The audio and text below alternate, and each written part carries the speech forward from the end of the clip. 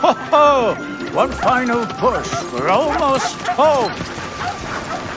And after a long day out in the cold, the dogs bravely pulled the sled and brought everyone back to the village. Oh, hello, Michael. I'm happy to see you. Reading stories is a great way to relax. Did you know that I keep a book about every single child in the world? Let's see what your big book tells me about you. Hmm.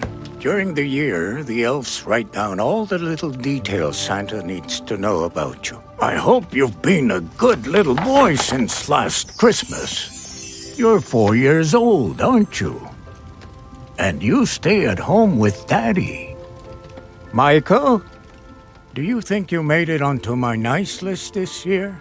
I know there's a special gift you'd really like to get, but remember, I'm counting on you to do your best every day. Hmm? Use my PNP console again to talk with me soon. My elves have a lot of surprises to share with you.